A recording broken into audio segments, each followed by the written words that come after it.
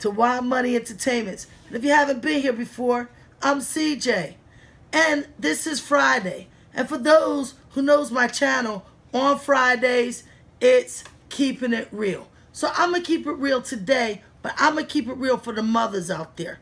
Because Mother's Day is Sunday. So this is for all your mothers with all your love. Mother's Day is a day for all to let you know and let the world know how special you really are. It's hard for you to get head, cook, clean, take care of children. Some of y'all are single, work. Some of y'all are entrepreneurs, business women, grandmothers. You're being a mother to your children, being a great grandmother. I was told a long time ago that having a child doesn't come with instructions. So a lot of mothers learn from trial and error. And those kids that's out there who say, CJ, I don't have a mom. My mom gave me up for an adoption. She didn't love me. Let me tell you something. I've worked in that system before. That's hard for a mother to do. When a mother does that, she feels that you're better off with someone that's going to give you everything she feels that she can't give you. That's that's real love.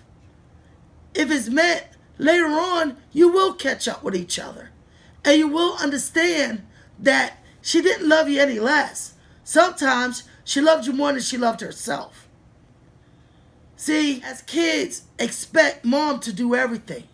Mom is our Wonder Woman. Mom is our superhero. Take us to the game. Fix us our favorite food. We sometimes don't realize mommy get tired too. Mommy needs a break too.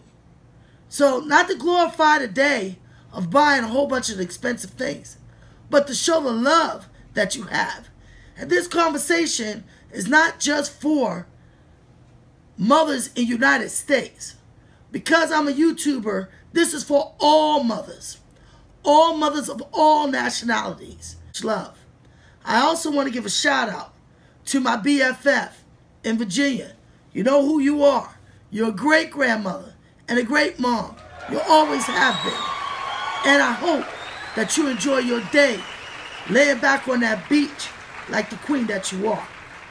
And for all the other Facebook moms and mothers that views my channel and my family, I want to tell y'all too, much love. And mom, I will always love you. Have a good time. Enjoy your day. Enjoy your weekend. You much deserve it. Much love. Throw them likes up if you like this video. And slap that subscribe button for all the beautiful mothers out there.